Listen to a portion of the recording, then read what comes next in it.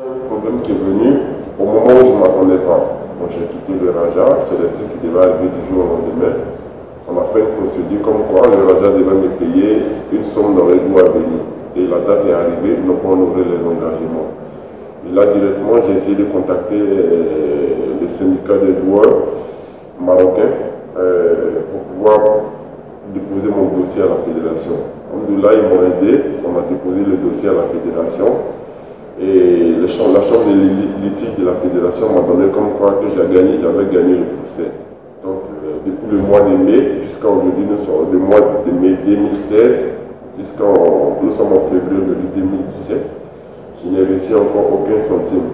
Malgré tous les efforts que les syndicats des joueurs marocains ont pu faire pour pouvoir m'avancer dans ce dossier, ils font presque tout.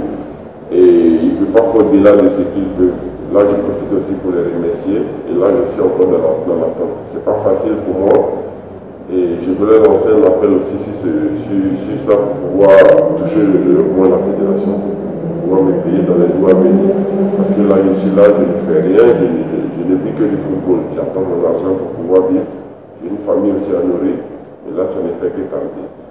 Mais je pense que les choses avec cette vidéo et avec aussi le soutien du syndicat des joueurs, j'espère que dans les jours à venir, ils vont pouvoir me payer. Inch'Allah.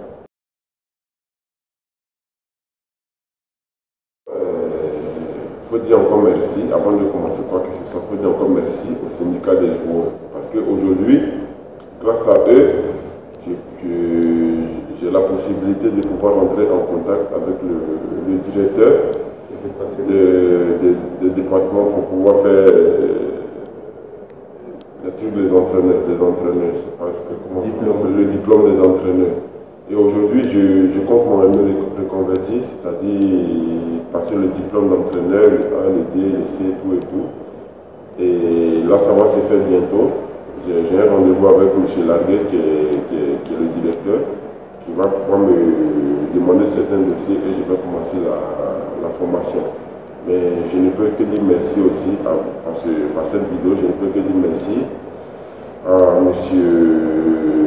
Mustafa El Adaoui et M. Arwan pour pouvoir m'aider dans ce sens-là. Grâce à eux, aujourd'hui, j'ai pu rentrer en contact avec M. Larguet et les choses sont sur de bons chemins.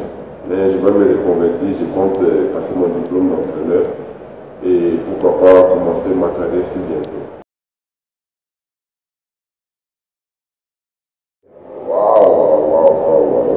c'est la chose qui me, qui me, tient, qui me tient vraiment à cœur et qui fait encore que j'ai encore la force de pouvoir être au Maroc. Pour moi, c'est le pays d'adoption, l'un des pays qui m'ont vraiment adopté. Jusqu'à aujourd'hui, ça fait bientôt deux ans que je suis plus au Raja, mais j'ai encore la sympathie de tout le monde. Les gens, ils sont sympas envers moi. Ils sont toujours disponibles pour moi. Même quand je suis à la maison et j'ai besoin de quelque chose, tu crois quelqu'un à la fenêtre qui te dit Ah Coco, je peux faire ça pour toi, je peux faire ça pour toi, je peux faire ça. Vraiment, c'est des choses qui me rendent au cœur. Donc, je, ne saurais comment les, remercier, surtout le peuple marocain. Et c'est pas moi seul, il y a ma famille aussi qui est là. Parce qu'ils ont adopté ma femme, ils ont adopté mon enfant. Même quand je passe avec mon à chaque fois, ils me demandent où est la fille, est-ce qu'elle va bien, comme c'est parce qu'elle est née sur le territoire marocain. Donc, pour moi, c'est l'une des meilleures choses qui me soit arrivées au-delà du football, au-delà de l'argent, au-delà de quoi que ce soit. Mais c'est l'adoption qui a été pour moi euh, primordiale. Parce que si ce n'était pas bien, si je n'étais pas bien adopté, je ne pense pas que je pouvoir, euh, pouvoir jouer comme ça la compétition et pouvoir jouer, enchaîner les matchs. Donc euh, c'est ça qui m'a fasciné.